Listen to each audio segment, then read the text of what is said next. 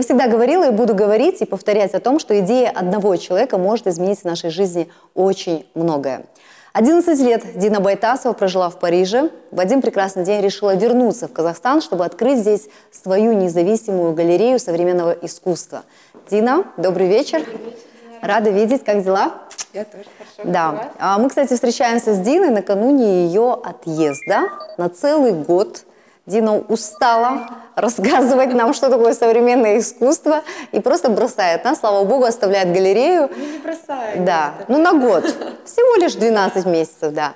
Дин, а, это помещение в аренде? Да, это помещение в аренде. Здесь 150 квадратных метров. Сколько стоит аренда?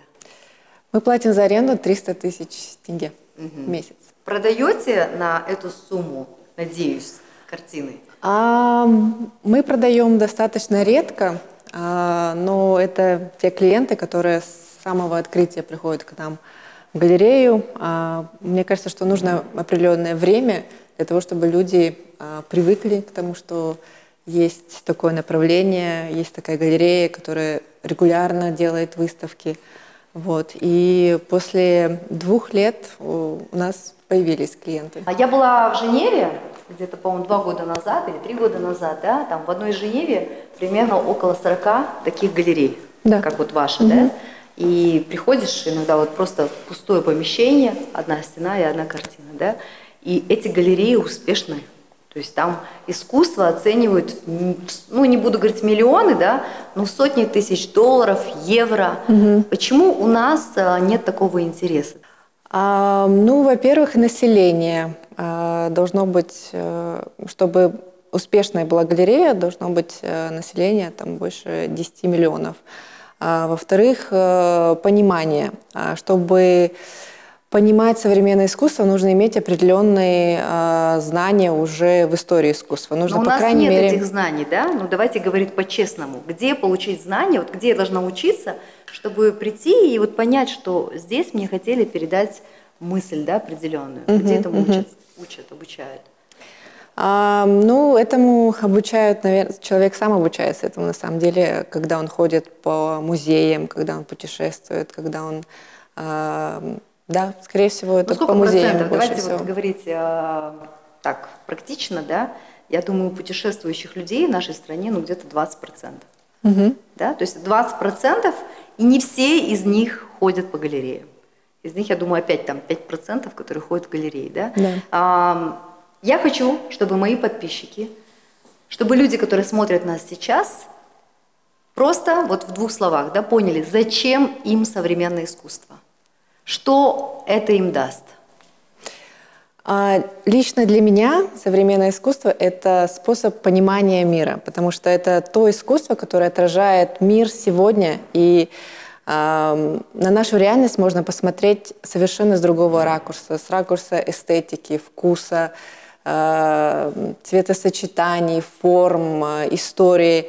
И именно современное искусство, оно отражает э, историю, философию, политику, эм, искусство, дизайн, архитектуру. То есть это такое объемная, объемная такая среда, где, через которую ты можешь познавать мир. Можно мы посмотрим сейчас? Пойдемте вот здесь одна картина. А, это Сауля Сулейменова, да? Да. Здесь э, очень интересная Техника – это ведь полиэтиленовые пакеты. Да, это полиэтиленовые пакеты. Что она хотела передать? Потому что я прихожу в зарубеж, за рубежом в галерею, я вижу людей, которые могут час стоять угу. возле картины и вот смотреть просто. Угу. Я, я вот раньше не понимала, что они там час стоят или что они там делают, что они пытаются понять. Потом я поняла, что человек вот что-то для себя понимает, да. Вот как э, пару вот, я не знаю, дайте советов, да, вот люди, которые придут – которые живут в Нур-Султане, в Алмате, приходите в галерею все. Вот придете сюда, какие э, вы дадите советы, вот что человек должен понять? Может быть, не с первого раза. На самом деле нужно, наверное, какое-то определенное время, чтобы э, понять работу, чтобы рассмотреть ее. Вот в данном случае здесь очень уникальная техника. Э, художник использует полиэтиленовые пакеты, которые она собирает а, по всему городу, она их собирает в степи, то есть это уже какой-то э, экологический шаг да, к тому, чтобы э, помочь окружающей среде. И из этих полиэтиленовых пакетов она создает картины, она пишет э, картины пакетами, то есть это ее инструмент, это ее краски, да, и э, здесь очень видно как бы то, что э, это живописец, это прекрасный живописец, который прекрасно сочетает а, оттенки, формы и э, сюжет. Это... это еще очень актуально на фоне того, что сейчас весь мир отказывается от полиэтиленовых да, пакетов. Да, да. Это такой вызов. Эта картина в каком году написана? Эта картина написана три года назад, насколько мне То известно. Она, немного даже опережала да, время, да? Да, да. Современное искусство тем и хорошо, что оно всегда на шаг впереди. Оно mm-hmm. всегда заглядывает, что будет впереди. Но я заметила, а, что вы не особо дружите с нашими столичными художниками. Нет, почему? Дружу. Мне показалось, что вы как-то их э, как будто бы, ну, я не знаю, может, ошибочно, что вот вы не считаете, что они делают что-то, вот они там степи, да, э, кони. Ну, видите, у меня же направление contemporary, mm-hmm. а степи и горы это немножко другое. Ну, это, это ведь запросы, э, как бы запро... они отвечают запросам рынка, да, да? да? То есть, если бы рынок просил такого абая, да, может быть, они бы и писали. На угу. самом деле это же техника-то одна. Ну, искусство это не на потребу дня. Э, искусство это что-то, должно быть что-то уникальное, что-то очень искреннее. А художник выражает свою вселенную, да.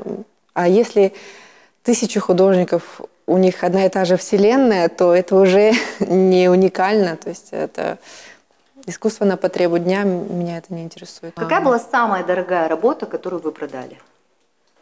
Благодаря Дине Байтасовой.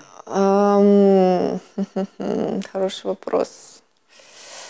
Я, наверное, не вспомню сейчас. Ну, примерно. Вы знаете, казахстанские художники, они достаточно доступны в цене. А, самые дорогие работы оцениваются а, из contemporary артистов 10-12 тысяч долларов. Да. Угу.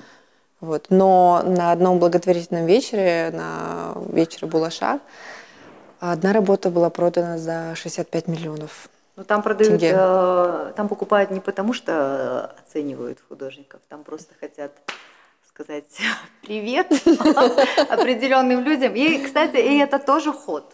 Для да. вас это тоже ход, да. правильно? Видишь, как стать коллекционером? Как ты думаешь? А, достаточно приобрести одну работу для начала. То есть это нужно будет просто пер- начать первый с этого? Да. Господи, друзья мои, просто приобретите. Но есть доступные работы, да, чтобы э, мои подписчики не пугались, там цены 4-5 тысяч долларов. Ну, наверняка да, конечно, есть, можно есть... работы там за 100 долларов, за 200 долларов купить. Да, есть работы отделя Бекерева, то есть это даже не принты, это настоящие нарисованные картины, грубо говоря, да, доступным языком, э, которые стоят от 200 долларов у нас в галерее. Допустим, мои подписчики созрели, они придут в вашу галерею, да, угу. захотят купить э, картину. Вот что вы порекомендуете, с чего начать? То есть, потому что ну, человек может купить картину, да, а вот э, понимание для него, для кого-то, знаете, просто какие-то кляксы, угу. а для кого-то это вот, конечно, там, вот что это за картина, объясните нам. Это работа Сауле Сулейменовой, это техника гратография, и э, она ее делала еще в 90-х годах. Мы недавно вот вытащили это из ее мастерской. Это сложная техника, где художник выцарапывает слой за слоем, э, выявляет новые э, краски, которые спрятаны да, здесь, и появляются такие вот образы. Вот здесь, видите, фигура э, мужчины и женщины, тут чайник с пиалушкой. Угу. То есть здесь рассказывается определенная история этой пары. Но, э, наверное, я бы посоветовала бы э, вашим подписчикам начать с каких-то молодых художников, молодых, перспективных ребят, таких как Адиль Убекеров, например. Вот здесь его работа.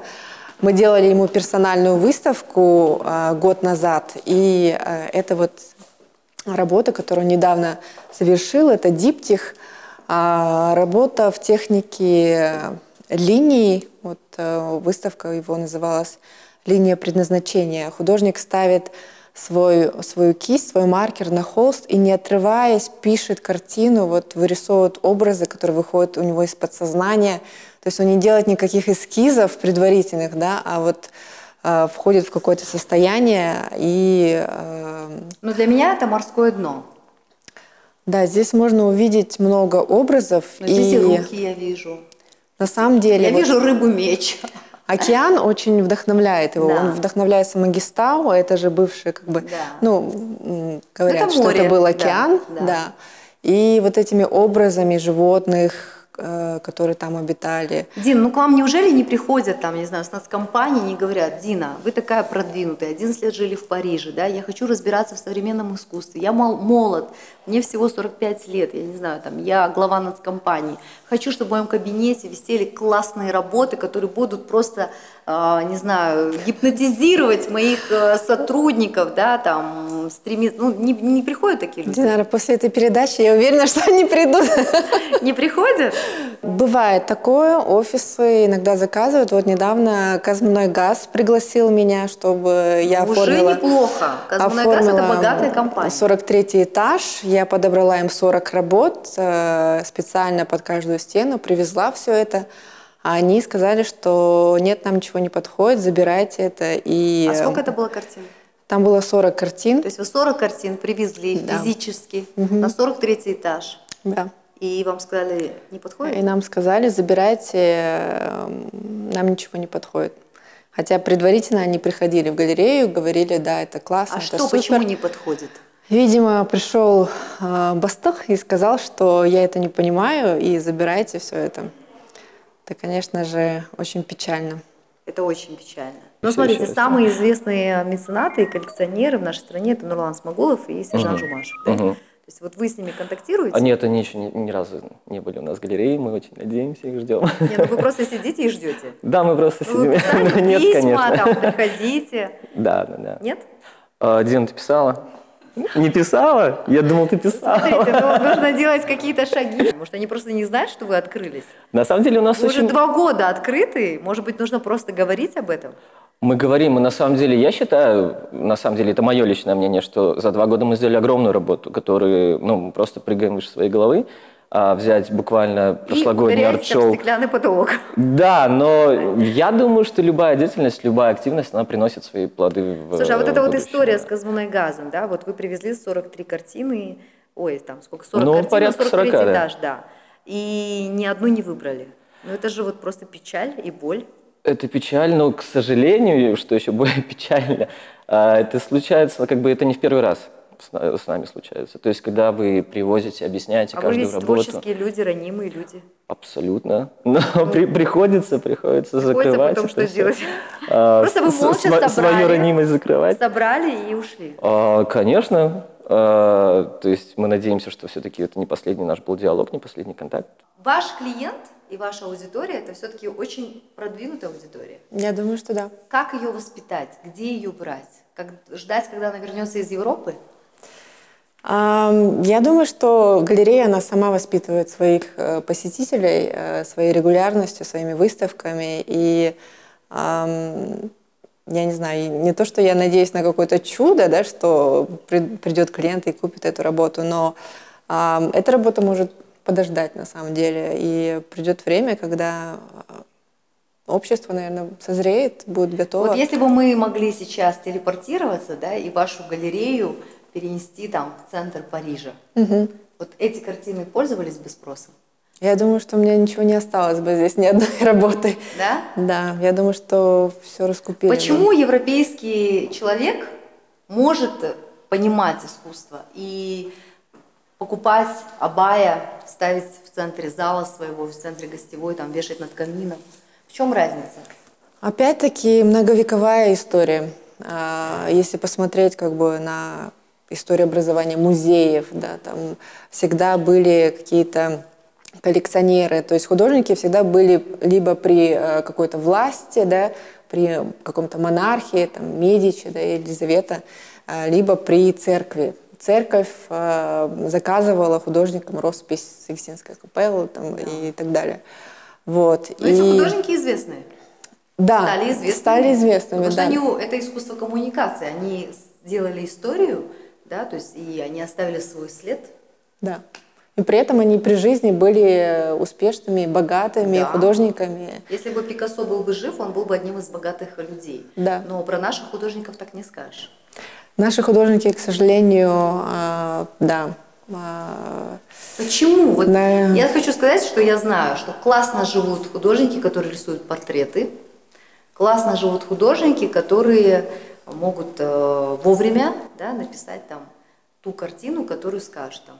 Я думаю, что у каждого художника стоит своя какая-то определенная задача. У кого-то заработать здесь и сейчас, продать портрет, продать там э, какой-то красивый пейзаж гор или, или коней, да. У этих художников сто- стоит совершенно другая задача. Это а, оставить какое-то на свое наследие современной культуры, отразить то время, а, в котором они жили, быть современниками этого времени. А, И я думаю, что Но я думаю, именно они останутся в Вы истории. знаете, я думаю, Дина, что каждый художник останется в истории. Нет. Своей страны, по крайней мере.